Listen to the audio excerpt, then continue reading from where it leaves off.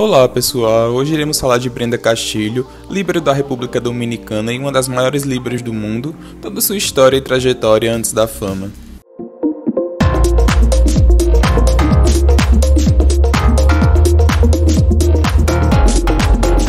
Brenda Castilho nasceu em 5 de junho de 1992 em São Cristóbal, República Dominicana.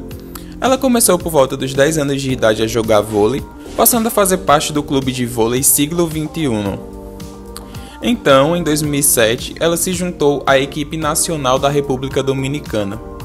Após isso, permaneceu defendendo a República Dominicana e os clubes de vôlei pelos quais já atuou, conseguindo muitos títulos como os seguintes: três medalhas de ouro na Copa Pan-Americana, nas edições de 2014, 2010 e 2008 duas medalhas de prata nas edições de 2011 e 2009 e uma medalha de bronze na edição de 2007.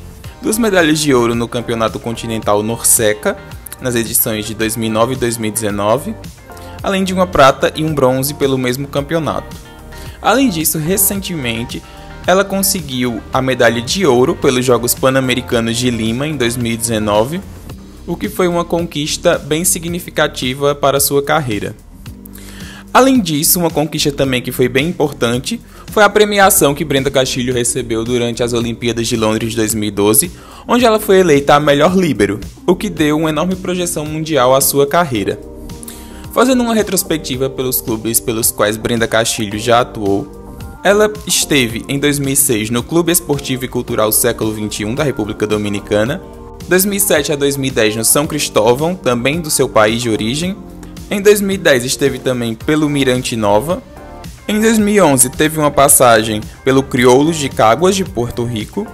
De 2012 até 2016 esteve no Azerbaijão, tendo passado de 2012 a 2015 no Rabita Baku e de 2015 a 2016 no Locomotiva Baku. De 2016 a 2017 ela teve uma passagem pelo vôlei brasileiro, pelo vôlei Bauru, retornando à República Dominicana para a temporada 2018 atuando no Cristo Rei.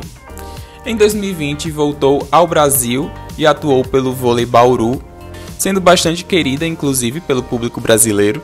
Após isso, ela foi para a Itália atuar pela sua primeira vez no país, tendo sido anunciado seu acerto com o Scandite. Então, pessoal, foi isso. Brenda Castilho realmente é uma das maiores líberos do mundo e tem uma história e carreira brilhantes no vôlei. Obrigado por ter assistido o vídeo. Eu peço por favor que se inscreva no canal se você ainda não está inscrito. Tchau, gente. Até mais. Obrigado.